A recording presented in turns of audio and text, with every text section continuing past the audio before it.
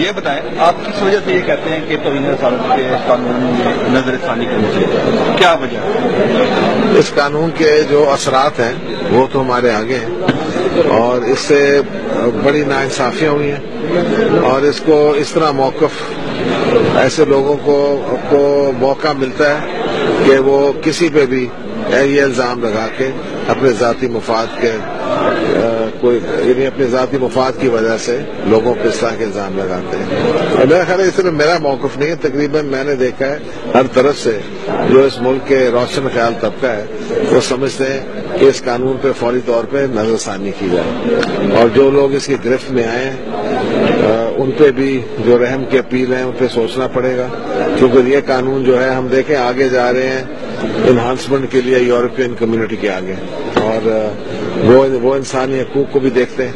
2014 में हम लोग जा रहे हैं कंप्लीट मेंबरशिप के लिए इकोनॉमिक एंट्री के लिए उसके लिए भी वो नजरसानी कर रहे हैं। इस तरह के कवानीन जो है ये पाकिस्तान के लिए अच्छे नहीं साबित होंगे।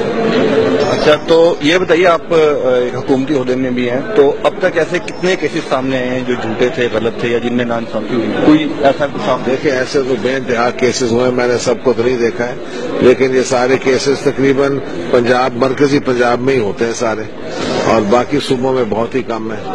और उसमें पचास फ़ीसद में, जिस मुल्क में आप सोचें कि छियानवे फ़ीसद आबादी मुसलमान है, कोई बंदा इस तरह है जो रसूल पाक के खिलाफ बात करेगा? मेरा ख्याल है किसी कोई सही दिमाग वाला बंदा तो नहीं बात करेगा। अच्छा ये बताइए कि आपने आसिया केस के सिलसिले में ये यकीन दहानी कराई कि सदर माफ़ कर देंगे। एक सदर की जानब से आप कैसे यकीन दहानी करा सकते हैं? और दूसरा यह एतराज़ किया जा रहा है कि अभी हाई कोर्ट और सुप्रीम कोर्ट में अपील बाकी थी उसके बाद सदर माफ़ी दे सकते हैं। देखिए बात यह है कि सदर साहब जो हैं वो माफ़ी आर्टिकल 45 के तहत किसी वक्त भी दे सकते हैं। अब ये उनके स्वाबदीद पे है। और जहाँ तक ये कहीं कानून ने लिखा है कि कानून के जब फैसला होगा, अब डेढ़ साल हो गए हैं, वो वो गरीब खातून जो है, वो जेल में है।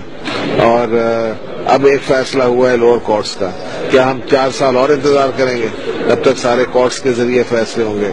अभी आएगा हाई कोर्ट में, फैसला जैसे भी होगा, लेकिन मैं समझता हूँ कि प्रेसिडेंट के पार्डन की अथॉरिटी जो है वो मुकम्मल है और उनके स्वाबदीद पे तो लेकिन उनकी तरफ़ से आप कैसे ये यकीन नहीं करा सकते हैं कि वो माफ़ कर देंगे? ये कैसे मैंने मैंने सदर से बात करके मैं मैं मैं, मैं पिटिशन लेकर आया हूँ। मैं कोई खुद तो नहीं गया हूँ।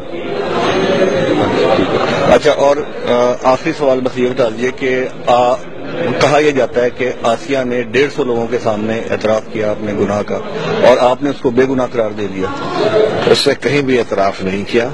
इनफैक्ट वो जब मैं जेल गया था, उसने वहाँ बड़े खुले और बड़े वाज तौर पे रसूल पाक के बारे में जो उन्होंने कहा कि हम मुझे पूरा उन पर यकीन है और हर तरीके से उन्होंने कहा कि मैंने ऐसी कोई बात नहीं की और मैंने कभी भी नहीं की और मुझे दबाव के ज़रिए और मुझे मारा भी है और सब कुछ किया है। लेकिन वो कहती है कि मैंने कभी ऐसे अल्फाज इस्तेमाल नहीं किए रसूल पाक के बारे में।